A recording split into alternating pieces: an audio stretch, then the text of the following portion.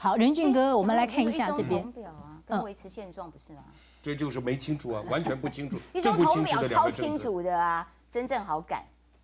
所以《自由时报》当王小波跟王炳忠成为台湾样板的时候，我们来看下一页哦。他其实里面特别提到的就是，亲民党主席宋楚瑜在对岸跟习近平特别谈到的台湾目前的处境，希望他能够多了解台湾人民在想些什么。是。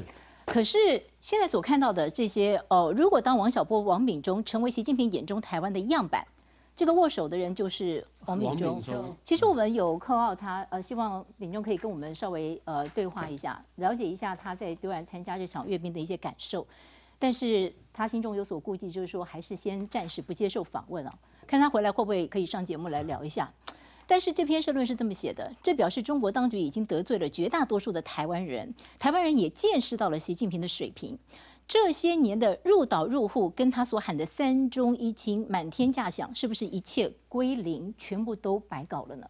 我我觉得我们这一段时间在讨论这个议题我想开西兄在这边，他长期对于中国大陆的发展其实都很关注，他也非常了解那个体制。我我想没有人在讨论这个议题的前提上面是要放着反对两岸继续交流跟来往。所以我在看这个议题的时候，我一直在强调，就是说你到中国大陆去参加这样的一个活动，它可以被讨论；你去参加阅兵。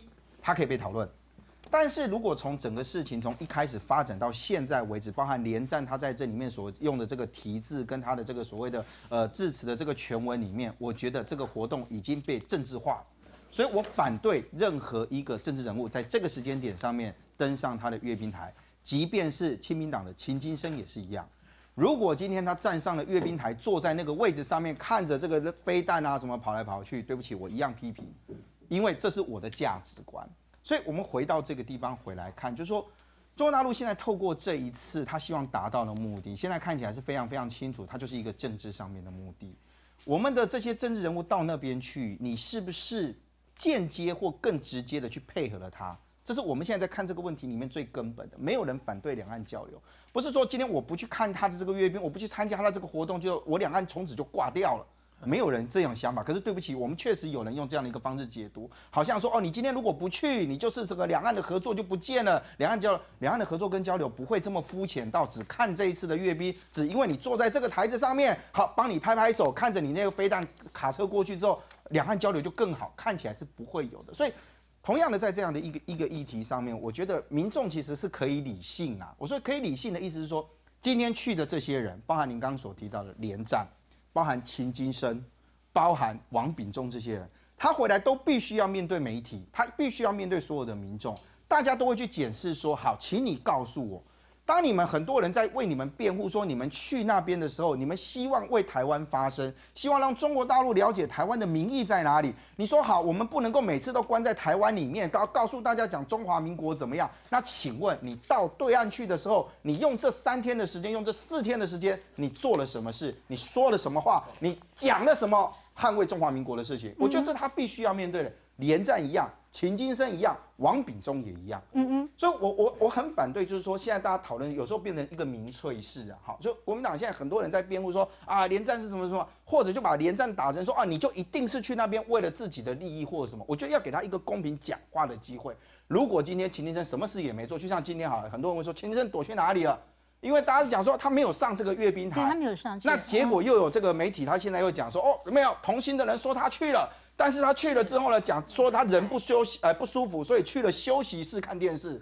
那这样到底算有没有去？他被劝下来所以证实正正确的消息是他去了，后来去休息室看电视。我我现在讲就是说，现在有一个媒体又又传一个报道，又传一个报道出来。那我们今天一直希望，没有最新的正确的消息。你看那个，你你看那个，他不是讲一直在天观礼台上，他讲是我们一起登上天安门观礼台，一起离开天安门，这样他算不算去？对，但是他里面有另外一段，他就写到了说，他用他人不舒服要到后面去休息，之后就坐在休息室看电视。上台散了，这是同一个报道里面所写的。就上台然后尿遁，所以这个报道里面有没有单独截这一个出来讲说他在天安门上？那在天安门的阅兵台上还是休息室里面？我讲真的，这个秦金生回来，我也想问清楚。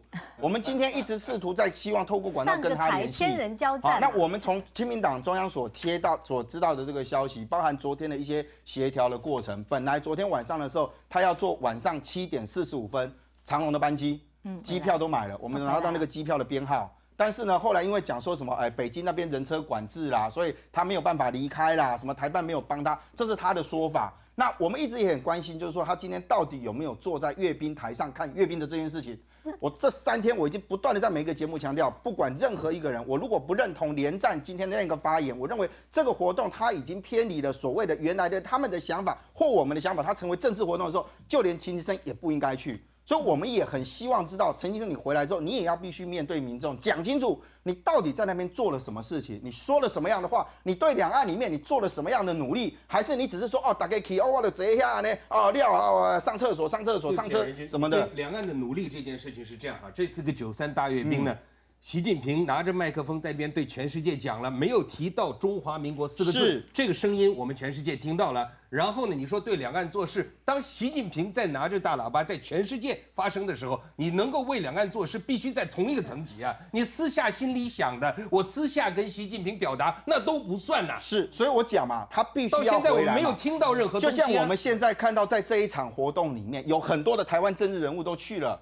但我们不会一竿子说哦，你下面朗你起，你也是在卖台，你什么人去了，我也要出来，你你我也要你出来讲清楚。我觉得我大家不会想要做这种事情，所以我们就讲说这个事情是可以被讨论，是可以被检视。来，对，其实这个事情哈，跟李登辉到日本去说钓鱼台不是我们的哈，啊，事实上是一样的严重，一样一样的严重啊。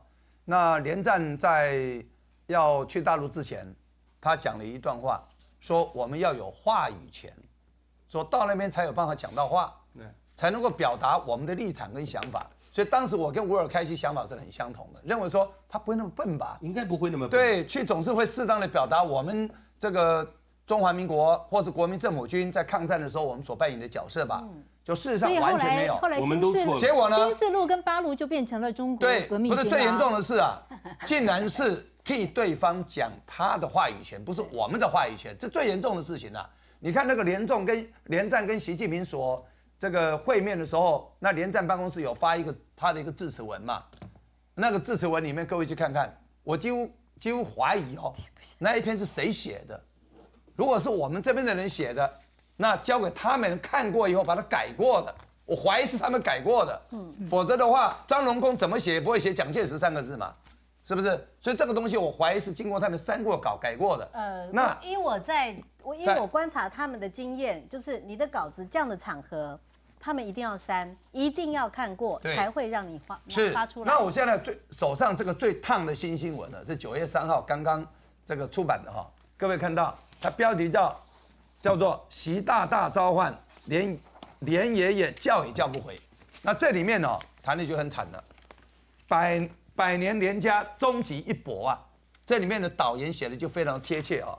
他写说啊，不理总统府的反对，不管党主席的要求，党内当权派像朱立伦、郝龙斌，权重一时的大佬，像徐立德、江敏坤、郝柏村，都百般劝阻，但通通无法让连战回心转意啊。那么连胜文败选之后，可见了连胜文的败选对他来讲哦，恐怕是他这一次哦，谁也劝不回的一个。最重要、最重要的一个致命这样一个关键的一个一个这样的一个状况啊，让游走台海两岸百年数代的连家产生了空前的危机感，这是很重要的啊。他即使可能冲击国民党的总统及立委选情，甚至堵上国民党坚持的抗战史观以及中华民国的历史定位，这一次连战也要进场一搏啊，稳住连章在袁家在两岸的政治地位。这个就是我一再讲的，二零一六。如果民进党执政了，请问，在连战当年连湖所谓的五项结结那个五项那个什么共识的或结论的这样的一个里面，有一条就叫党对党的这样的定期的一个所谓的会谈。那二零一六以后，请问你，中国大陆经过连战这一次啊这样的一个所谓的对他而言啊这样的一个牺牲哈，嗯，他要不要给他回报？嗯，好，他要回报的很简单啊。就是以后二零一六以后，党对党的，我只认定你连战，嗯，啊，我只认定你连战，你只你只有你能代表国民党，所以也就是说，是国民党这一次能不能够很正面的，不是给连战停权哦，是开除，是开除哦，如果你没有开除他的话，以后他就是二零一六以后唯一的国民党跟中国大陆党对谈，所以我们看到在对岸。连爷爷真的在今天登台了，但是台湾的洪秀柱却要下台吗？最新消息。因为老师讲最近压力很大，有没有给他打气？洪秀柱妹妹一出门就被包围，一大早媒体聚集洪秀柱家门口，全都因为前一天深夜脸书突然发文，决定暂停每天陀螺般的行程，进行深刻的反省和沉思，立刻引来退选联想。最重要的是，是绝对不会退选，绝对参选到底。总统身份参选，当然，当然，总统身份参选到底，毋庸置疑。发言人一字排开，重申再重申，没有要退选。事实上，这个礼拜一下午，总部的工作汇报，洪秀柱突然现身，和干部说：“这两天，我想沉淀一下，找回自己。你们看，我会有不同做法，会有重大改变，会出现一个不同的洪秀柱。”甚至还说这几天脸书我自己写，却没想到周三闪电剖文，事先没让党中央知道。呃，礼拜一的时候有跟我们说。那我想，嗯，也许因为这个是呃我们整个的竞选形成的一部分，所以嗯，可能没有对党部的特别知会。洪秀柱的宣言可让府党高层吓坏了，甚至有人用错愕形容，深夜还忙着打听消息，暂停行程，颇有向党内天王示威的意味。那党部联席会议就是李四川李秘书长有参与，还有一些党部的主管哈，他说他非常困扰，他说嗯，这个因为媒体有很多的揣测。那他也跟注解说，这些事情全部都是捕风捉影的事情。党部和总部的会议上，秘书长李四川重申全力挺住，就在选战加温之际出此招。洪秀柱思想以退为进，制止党内流言。记者综合报道。现在整个团结挺住的态势已经非常的明白。那么，所以洪副院长认为他自己的责任是更为重大，所以呃要来思考怎么样带领这次的选战能够逆转胜。所以。他绝对会参选到。